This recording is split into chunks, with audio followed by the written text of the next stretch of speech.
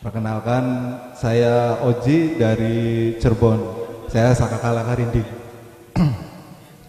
jadi sebelum saya bikin satu instrumen musik, jadi saya mau mengenalkan satu alat yang saya bawa ini.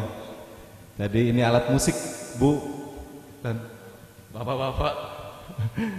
alat musik asli dari Cirebon, Indramayu. Jadi bukan alat musik Sunda sebenarnya ini terbuat dari bambu. Bambunya bambu ampel jadi orang zaman dulu itu alat ini digunain untuk keperluan bertani. Jadi untuk mengusir hama tikus dan hama-hama yang ada di sawah. Cuman pas di tahun 43 sampai 45 sempat digunakan sama para pejuang waktu penjajahan Belanda itu untuk bahasa telik sandi untuk memata-matai Belanda. Jadi ini nama alatnya alat karinding, Bu, Pak. Sempat terlupakan, sempat hilang. Jadi insya Allah beberapa bulan ke depan saya juga bakalan workshop di Taman Banjar dan di sekitar Indramayu juga untuk mengenalkan alat musik karinding.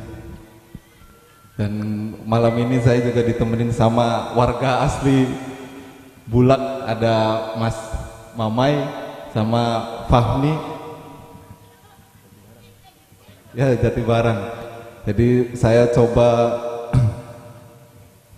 berkolaborasi dengan beliau dan Mas Mamai.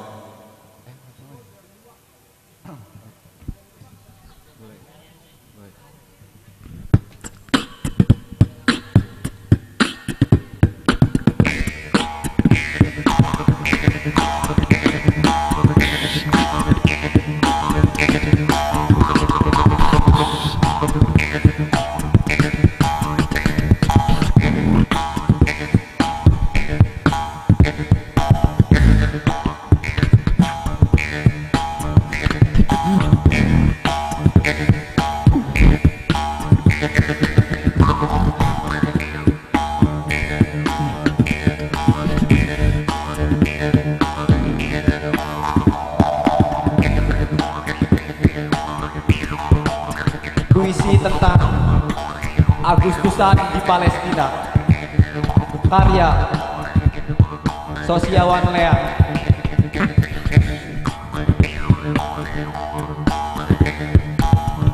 Agustusan di Palestina. Di kampungku saat tujuh belasan. Anak-anak bernyanyi bergembira meski internet dan sekolah semakin menggila narkoba dan kekerasan bersekongkol dengan kembang gula. Kekerasan dan jalanan semua tetap ceria. Berlari karung bersepeda hias dan berpanjat pinang serta tembak-tembakan dengan bedil mainan saat karnaval.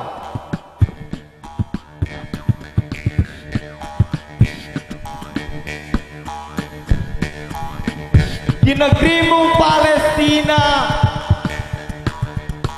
Walau sudah merdeka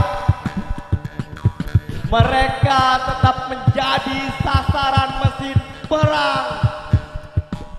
Diiris-iris mesiu kaum Zionis. Tanpa aba-aba tanpa tanda jeda bangku bangku sekolah kosong. Sebab akibat ditangkap paksa atau gugur dalam pertempuran tidak seimbang. Sementara yang tersisa diasuh trauma, menghitung jari dan kelingking yang tak lagi utuh jumlahnya.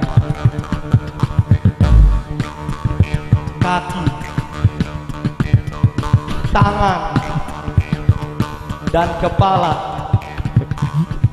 mata yang ditinggal pasangannya, seperti hidup diceraikan harapan. Di kampungku, ibu-ibu memasak cinta dan kasih sayang. Meski menyajikannya tanpa garam. Kepada para remaja penghias rumah dan gang. Dengan bendera warisan pahlawan yang mengibarkan daulat negara. Sementara kaum laki-laki bekerja bakti membersihkan got dan selokan. Merapikan pagar halaman dan pohonan. Lantas membangun panggung dalam pentas dharma tanpa korupsi. Apalagi manipulasi kekuasaan. Di negerimu Palestina ibu-ibu walau sudah di barat pengungsian terus diburu peluru-peluru Israel melebihi Israel.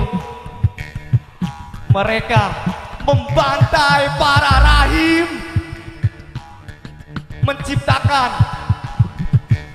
tragedi Nazi Serbia Palestina dan Slovenia.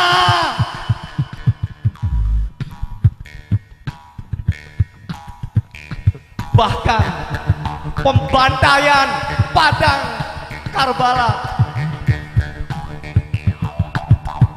seperti jumroh di Mina iblis tanpa mata hati.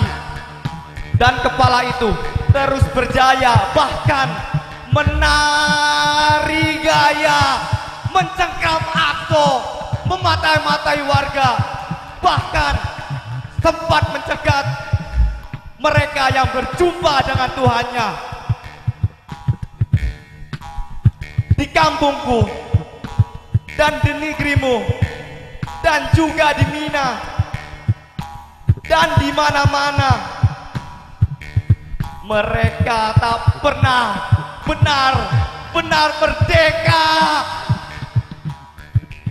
Sebab setan berwajah tanah terus bergentayangan memamah kebun dan pemukiman mengusir tuan rumah dan menginjak-injak kemanusiaan itulah kenapa Palestina sejak dulu kampungku dan di negerimu kita saudara sepenindasan kurban peradaban dajjal